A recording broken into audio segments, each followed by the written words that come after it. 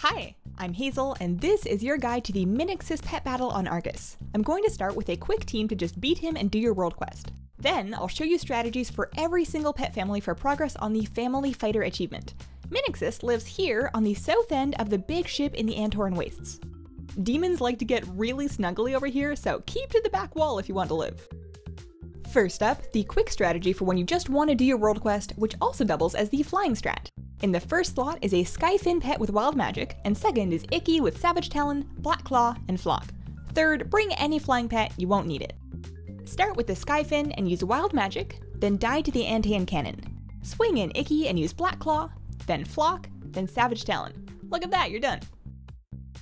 Next up is Aquatic. In my first slot is an eel pet featuring Deep Bite, Dodge, and Dive. The Slithershock Elver or Lagan would be fine. Second, I'm using my Tundra Penguin with Slippery Ice and Ice Lance. Third is the spawn of G'nathus with Jolt, Dive, and Thunderbolt. Start the fight with your eel, use Dodge, and then immediately swap to the Penguin. Use Slippery Ice and then Ice Lance three times.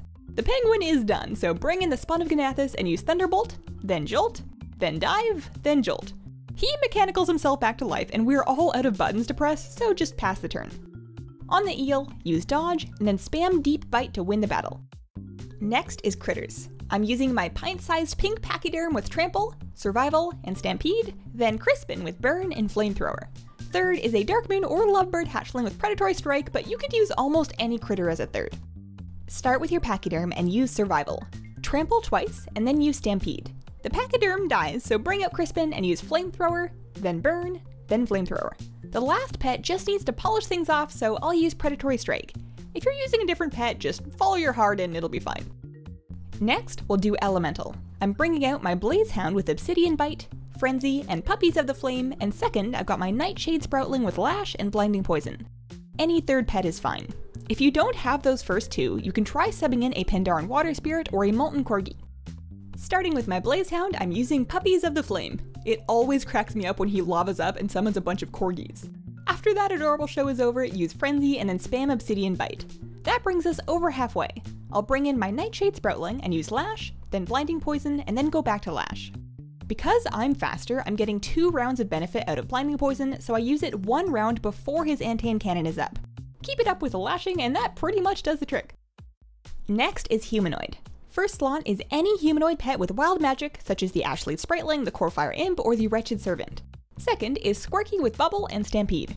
Third, I'm using Wormy Tunkins with Burp, but you can use any humanoid pet that has a big elemental attack.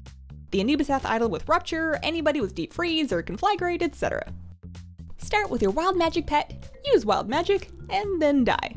Bring in Squirky and use Bubble, then spam Stampede. If you're bored, you can try to count all the Squirkies that you're unleashing against the Legion. It's quite a few. Squirky gets really close but doesn't quite finish it off, so bring in that last pet and smack him down. It is surprisingly fun to burp a starship to death. Next up is Mechanical. The first slot is our faithful Mechanical Pandaren Dragonling with Breath, Thunderbolt, and Decoy. Second is my Pocket Cannon with Flame Shot and Explode, and third is any decoy pet with spammable damage. I like Skybo for that third slot because he's got Flamethrower. Start with our Mech Dragon and use Decoy, then Thunderbolt, and then swap to the Pocket Cannon. Use Flame Shot four times for a total of two shots, and then explode on him. It's so good. Swing in your decoy pet, lay down the decoy, and then go at him spamming damage. With Skybo, I'm just going to mash Flamethrower. We still have the entire Panda Dragonling just in case, so no stress if you're Skyboless. Next, we've got Beasts. First, you want any raptor pet set up with exposed wounds. In second, bring your Zandalari Ankle Render or Kneebiter with Black Claw, Hunting Party, and Leap, and third, bring either another Zandalari Raptor with Hunting Party or a high attack breed beast with big beast damage. Starting with the Vanilla Raptor, lay down exposed wounds and then eat the Antaen Cannon. Bring out your Zandalari Raptor and use Black Claw, then Hunting Party, and then Leap. On your last pet, use Hunting Party or just whack him down with your favorite beast moves. That last slot is pretty flexible. Let's do Dragonkin. First is the Protodrake Whelp with Flamethrower and Protostrike. Second is any Dragonhawk hatchling with Conflagrate and Flamethrower. Third slot can be another Dragonhawk or a Bronze Whelp with Tail Sweep, Early Advantage, and Liftoff. Starting with our red Protodrake Whelp, use Protostrike and then spam Flamethrower. After he dies, bring in the Dragonhawk and use Conflagrate, then back to spamming Flamethrower.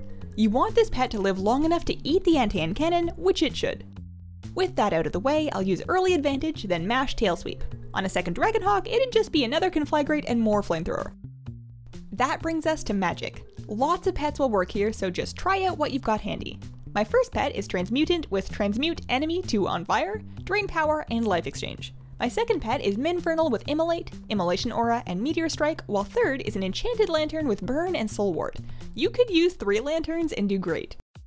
I'll start with Transmutant and use Drain Power, then Life Exchange, and then spam Transmute Enemy to On Fire. It's quite effective. After the Transmutant dies, I'll bring in my Minfernal and throw up Immolation Aura, then use Immolate, and then Meteor Strike which avoids the cannon. One more Immolate almost does it, so I'll bring in my lamp and wrap it up with a burn. Last is Undead. I've got my Unborn Valkyr with Curse of Doom and Unholy Ascension, a Mr. Bigglesworth with Pounce, Frost Nova, and Howling Blast, and third is my Fragment of Anger with Seethe. Start with the Valkyr, use Curse of Doom, and then Unholy Ascension. On Bigglesworth, use Frost Nova, then Howling Blast, and then Pounce twice. We get one more Frost Nova before Biggles is done. On the Fragment of Anger, just mash Seethe. So that's Family Fighter Minixis. Thank you so much for watching. Subscribe for the rest of the Family Fighter guides and other super cool WoW videos. Let me know what you think, share your own strategies in the comments if you like, and have a wonderful, wonderful day. Bye!